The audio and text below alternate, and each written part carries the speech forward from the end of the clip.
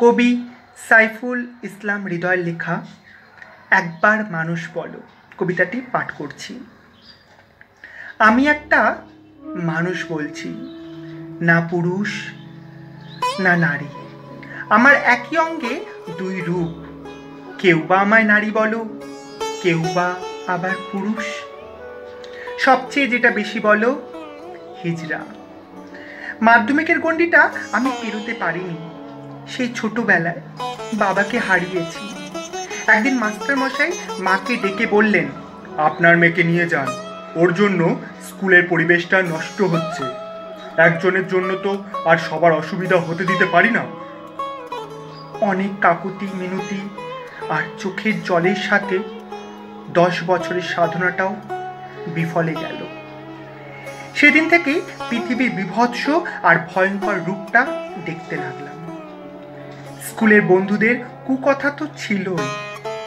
একে একে পাড়া প্রতিবেশী বন্ধু বান্ধব সবাই দূরে চলে যেতে লাগল। বয়স যতই বাড়ে, ততই আমি শক্ত হই। শক্ত হলে নাকি লোকে পুরুষ বলে। বেশ কবার কাজ খুঁজতে বেরিয়েছিলাম। পথে ছেলে বুড়োরা ঘিরে ধরেছিল। এই দেখ এই দেখ, হিচড়ে হিচড়ে। এই বলে তেরে আসা, ঢিল ছোড়া, ওড়না ধরে টান দেওয়া, আর কত কি? হ্যাঁ আমি একটা মানুষ বলছি, না পুরুষ, না নারী। একদিন এক দুঃসম্পর্কের চাচা কাজ দেবেন বলে তার বাসায় ডেকে পাঠান। খালি কামরা বাসায় কেউ নেই। চারপাশে শুনশান নীরবতা। হঠাৎ করে দরজা বন্ধ করে ঝাঁপিয়ে পড়লেন আমার উপর। আমার নারীত্ব, পুরুষত্ব, সবটা দেখে নিলেন। চিৎকার, চেঁচামেচি কোনো কিছুই কাজে লাগেনি। শেষমেশ বললাম, কি কাকু, কেমন দেখলেন আমার নারীত্ব? কেমনই বা দেখলেন আমার পুরুষত্ব? হ্যাঁ আমি একটা মানুষ বলছি। না পুরুষ, না নারী।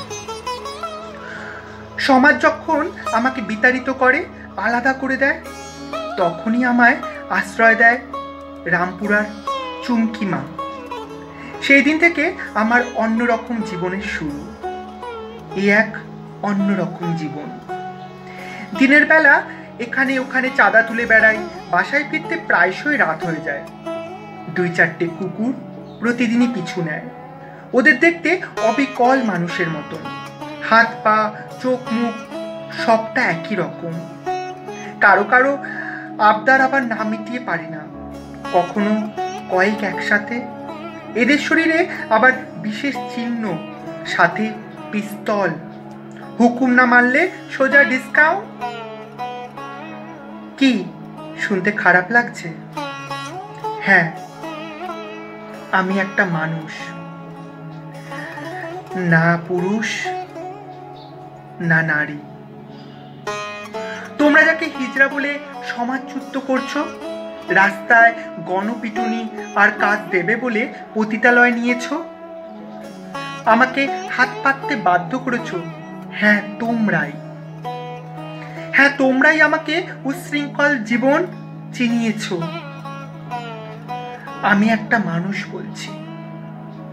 না পুরুষ, না নারী। আমার একই অঙ্গে দুই রূপ। কেউ বা আমায় নারী রাখো কেউ বা আবার পুরুষ। সবচেয়ে যেটা বেশি বলো, হিজড়া। কই, আমি তো তোমাদের অমানুষ বলি না? তোমরা যারা মুখোশ পরে মুখ দেখিয়ে বেড়াও, নিজের মাকে বৃদ্ধাশ্রমে রেখে নারীবাদী সাজো সারা রাত পতিতালয়ে কাটিয়ে স্ত্রীর কাছে আদর্শ স্বামী সাজো? কই? আমি তো তোমাদের অমানুষ বলি না। অথচ তোমরা কথায় কথায় হিজড়া, বেশ্যা, পতিতা বলে ডাকো। দোহাই তোমাদের। একটাবার মানুষ বলো। একবার মানুষ বলো। তোমরা কেউ আমায় হিজড়া ডাকো?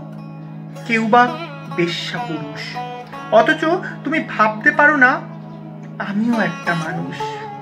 হ্যাঁ তোমরা কেউ আমায় হিজড়া ডাকো। কেউ বা বেশ্যা পুরুষ। অথচ তুমি ভাবতে পারো না, আমিও একটা মানুষ।